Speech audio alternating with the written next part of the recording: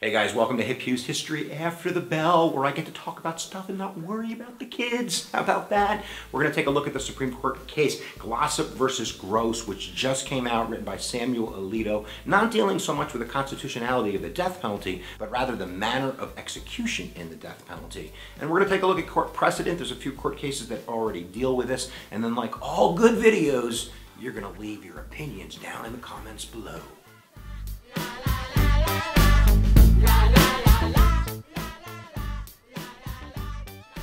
Guys, so we have three court cases to deal with, and all of them are going to basically uphold the state laws which are executing people in these different manners. The first court case, you have to go way back to 1879, Wally Wilkerson versus Utah.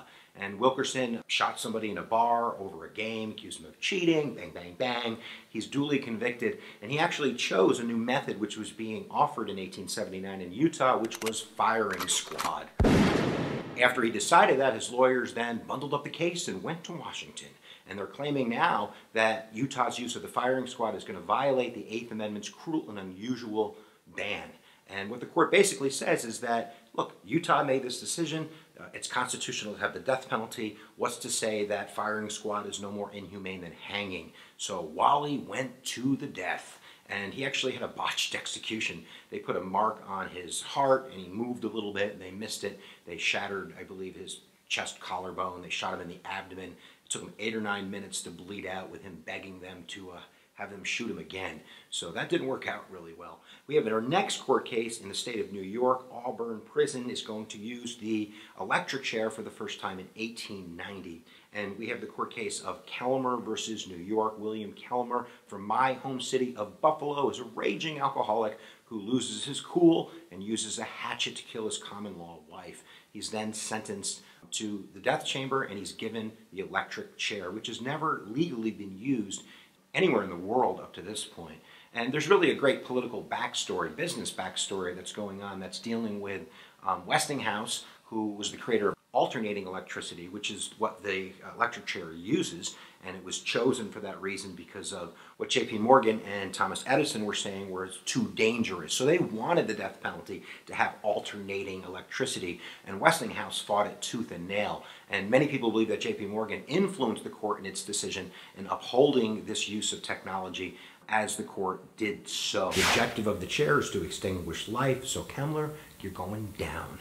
And that becomes one ugly execution. Um, they actually pumped him with a thousand volts for about 15 seconds. That didn't work, so they gave him a second charge for something like six or seven minutes at 2,000 volts. His hair was singeing, his skin was burning off, blood was coming out of his vessels on his face. The odor, people said, was just intolerable. People started getting sick. They wanted to get out of there, and it took him eight or nine minutes to die. One of the reporters on the way out, it was actually, I believe, the head coroner for New York State, and they asked him what it was like, and they said they would have been better if they had used an axe. But the Supreme Court said that New York had a right to do so, so so the electric chair became the preferred method of death across the United States for the next about 70 or 80 years before we started getting into lethal injection. Lethal injection usually involves two or three, sometimes four drugs, and it was a four drug cocktail that became challenged in, in 2008 in Baze versus Rees, where really they're challenging the use of a four drug cocktail, the main drug being sodium pentothal, which is kind of the knocker outer drug. And the court is going to rule that this four drug cocktail is going to be okay, even though there are cases before that where people were taking a long time to die, weren't being knocked out necessarily.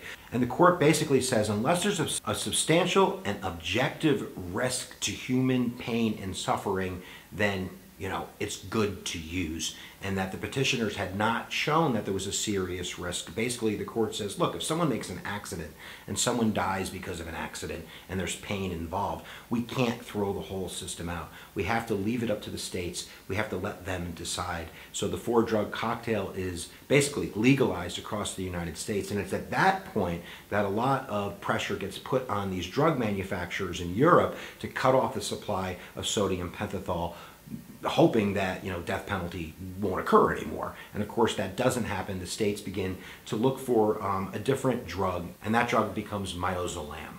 Midazolam, which was never really used fully as a, a, sedative, but kind of has that effect, begins to be used in states that can't get their hands on sodium pentothal.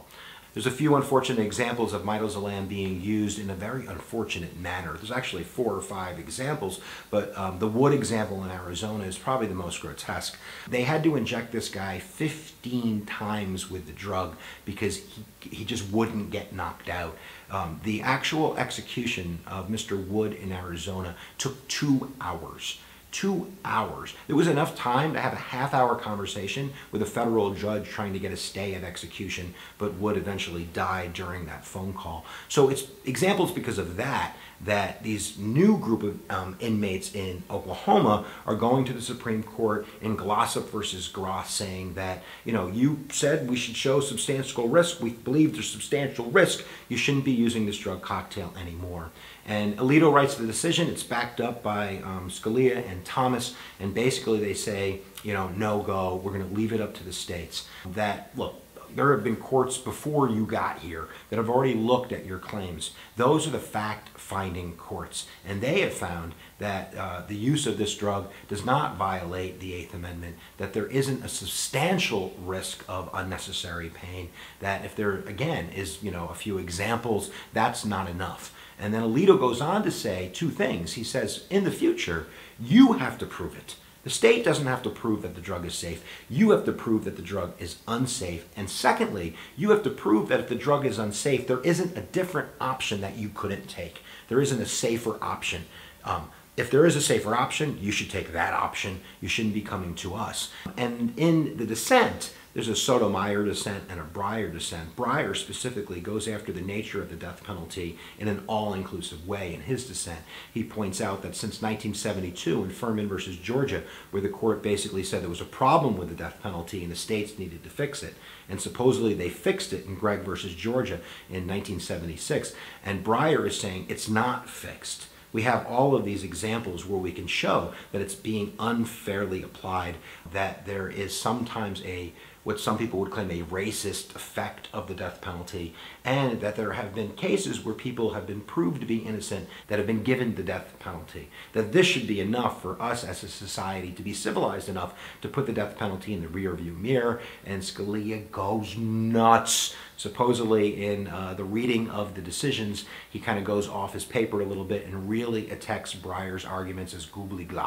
He states that, you know, he must have missed the Enlightenment, that the Constitution itself includes execution for treason and in the Fifth Amendment, you know, if there is a due process, um, we can take your life, and that all of this uh, talk about the death penalty being unconstitutional is um, nonsensical. But this is a win. It's a win for conservatives, it's a win for death penalty advocates, and it's a win for states' right advocates that claim this should be left up to the people. This should be left up to state legislatures, not to the Supreme Court. And Scalia even mentioned the gay marriage decision um, by saying, look, you know, the court wants to, you know, rule the people by coming out with these decisions, not this time. This time, the people are going to decide for themselves. So, what have you decided? Down below, you can leave it, whether you want to talk about the death penalty or the use of lethal injection or whatever you want to do. Just keep it civil down below. And thanks for watching, guys. If you haven't subscribed, you can do that right now by clicking that button. How funky and free is that? And I'll always say, where attention goes,